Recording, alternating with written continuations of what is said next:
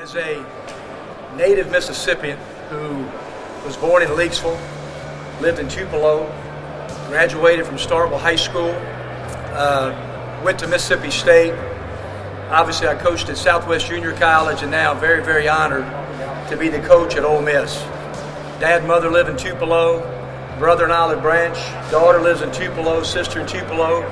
So if there was a family that's Mississippi made, we're it. Um, you know, we're here to, to try to create change for the flag. And in creating change is one thing that is very important to all of us. And it's the right thing to do. You know, Mississippi needs to have a flag that is great for all the citizens in our state.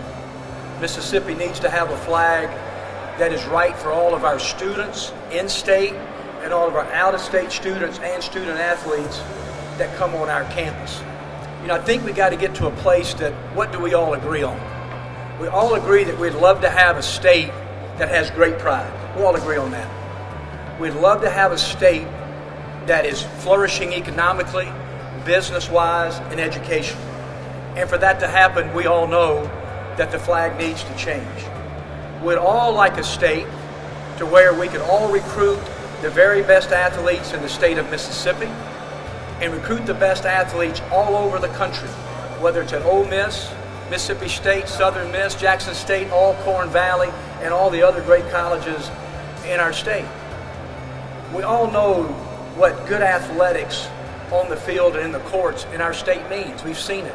How it affects our towns and cities and those colleges economically, how it affects student enrollment, how it affects national publicity. So we all we know that that time for a change is now. It's a great opportunity for our state, the state that I grew up in, to make change for the better. And again, get a flag that represents all the citizens in our state. You know, I'll leave you with this. I have a daughter, Allie. She's 32 years old. She has Down syndrome. And Allie keeps us simplified and grounded all the time.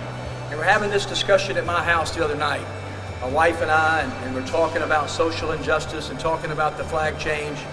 And Allie's sitting there, and she just looked at us and she said, Dad, do unto others as you'd like for them to do to you. I said, Boy, that's simple, but isn't that perfect? I said, That's simple, but it's perfect.